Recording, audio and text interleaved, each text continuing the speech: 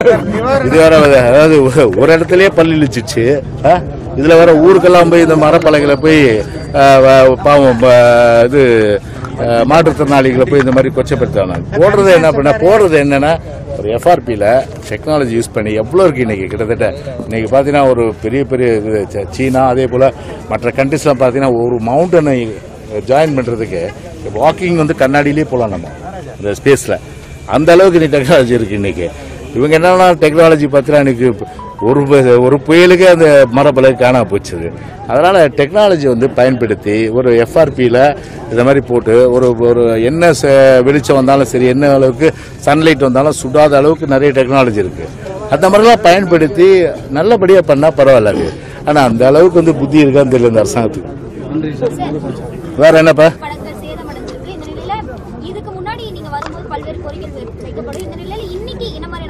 இல்லை பொதுவாக வந்து அவங்களுடைய வாழ்வாதாரம் போச்சு இந்த பதினெட்டு மாதத்தில் ஏன்னா அவங்க என்னென்ன இந்த டீசல் கெரசின் மெயினாக யூஸ் பண்ணுறாங்க அது சப்சிடி அனௌன்ஸ் பண்ணி கொடுக்கணும். அவங்க வந்து மானியம். மானியம் அனௌன்ஸ் பண்ணால் நாங்கள் வந்து என்ன பண்ணோம் அப்படியே இப்போ மெக்கனைஸ் போட்டுக்கு அதாவது விசைப்படகுக்கு ஆயிரத்தி ஐநூறு ஆயிரத்தி எட்நூறு ஒரு முந்நூறு. இப்போ டீசல் விலை அதிகமாச்சு. அதே போல் கரசின் விலை அதிகமாச்சு படகு எடுக்க முடியல அவங்கள அதனால் அதை கொஞ்சம் அனௌன்ஸ் பண்ணோம் கிட்டத்தட்ட வந்து அதிகப்படுத்தி கொடுக்கணுன்றது அவங்களோட விரும்பும் அப்போ தான் வந்து அவங்க தொழில் போக முடியும். இல்லைன்னா கட்டி தான் இருக்கு போட்டு.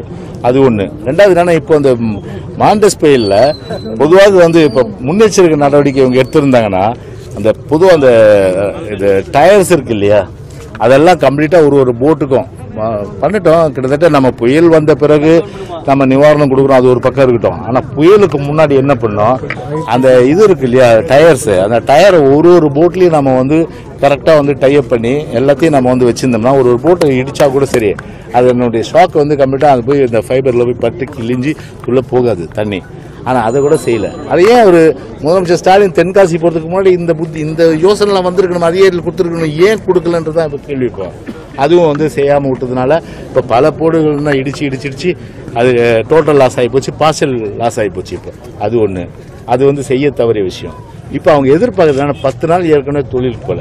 இப்போ இன்னொரு பத்து நாள் ஆகும். இந்த போட்டை செட் பண்ணிட்டு ரிப்பேர் இங்க இருந்து எல்லாம் இப்போ பார்த்தீங்கன்னா பாலவாக்கம் ஈஞ்சம்பாக்கம் குட்டிவாக்கம் செம்மஞ்சேரி அதுக்கப்புறம் உத்தண்டி அதுக்கப்புறம் காணத்துரெட்டி குப்பம் அதுக்கப்புறம் வந்து நெமிலி அதுக்கப்புறம் சதுரங்கப்பட்டினம் புதுப்பட்டினம். இப்படி வரிசையாக கிராமத்தை சொல்ல முடியும்.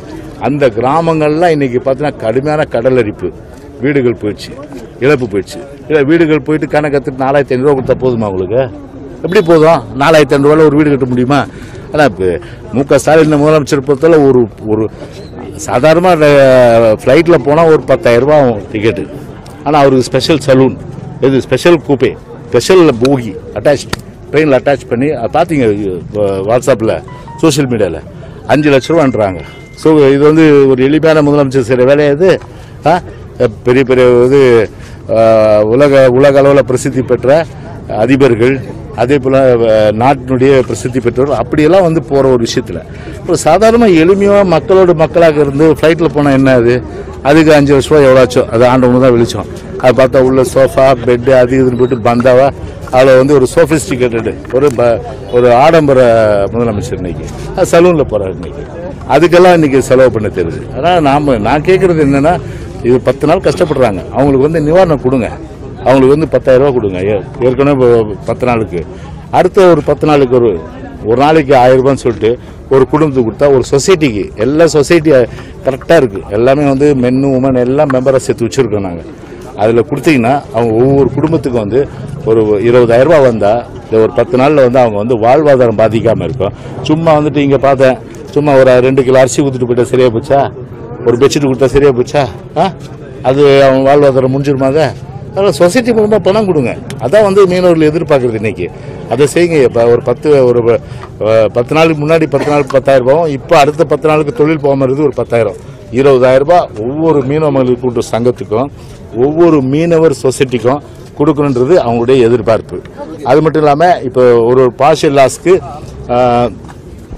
பத்து லட்ச ரூபாயும் முழு லாஸ் அடைஞ்ச போட்டுக்கு இருபது லட்ச ரூபாயும் அவங்களுடைய எதிர்பார்ப்பு. அதுவும் வந்து அவங்க அக்கௌண்ட்டில் வந்து போடணும்.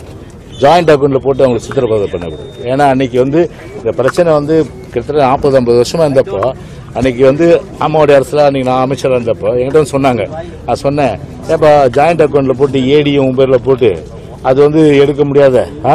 அதாவது என்ன சொல்லுவாங்களே அதை வைக்க போகிற நாய் காத்த மாதிரி காத்துன்னு இருக்கணும். அது மாதிரி வந்து கஷ்டப்படுவாங்க. அதனால் அவங்க போட்டு அவங்களே கட்டிக்கிறாங்க. ஸோ அவங்க அக்கௌண்ட்டில் போடுங்க. நீ போட்டு வாங்கினே இல்லைன்னு பார்க்குறது தான் உன்னுடைய வேலை. அதனால் நீ போய் இன்ஸ்பெக்ட் பண்ணி பாரு. செலவு பண்ணானா இல்லையா நான் அஞ்சு லட்சத்தை? நீ அஞ்சு லட்சம் வந்து ஏடி அக்கௌண்ட்டில் போட்டுட்டு அதுக்கப்புறம் வந்து ஃபிஷர்மேன் அக்கௌண்ட்டில் ஜாயிண்ட் அக்கௌண்ட் போட்டு நம்ம ஃபிஷர்மேன் போய் ஏடிக்கிட்ட போய் கேட்டுருக்கலாம். சார் அந்த பணத்தை கொஞ்சம் எடுத்துக்கலாம் அவர் ஒரு என்ன பண்ணுவார்?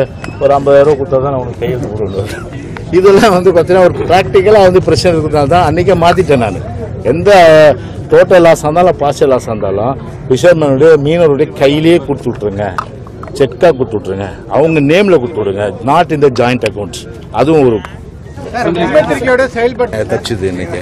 மரம் அங்கங்கே விழுந்துச்சு மரம் உள்ளவங்க பாதுகாத்துட்டார் இவரு. இப்போ எங்கள் வீட்டாண்ட எடுத்துங்க இப்போ லீத் கேசல் சவுத் ஸ்ட்ரீட்டில் நான் இருக்கேன் இப்போ. அந்த இடத்துல வந்து ஒரு மரம் விழுந்து கார் மேலே அப்படியே விழுந்து போச்சு. கார் சப்பையாகி போய் கிடக்குது. இன்னும் வந்து மரத்தை எடுக்க காணாம். ஸோ அந்த மாதிரி வந்து இன்னைக்கு வந்து புயலை பொறுத்தவரை வந்து வலுவிழந்தது ஒரு பக்கம் இருக்கட்டும் அது. ஆனால் முன்னெச்சரிக்கை நடவடிக்கை என்பது எதுவுமே எடுக்கல.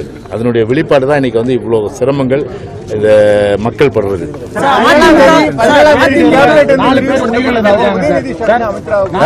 யார்? உதயநிதியா? ஆ? அறுபது அந்த அவன் நாட்டுக்கு ரொம்ப முக்கியம் பாருது அதாவது ஒரு பழமொழி உண்டு. நரி வளம் போனான்னா இடம் போனான்னா. மக்களை குதறாம கடிக்காம இருந்தா சரி. ஓகே?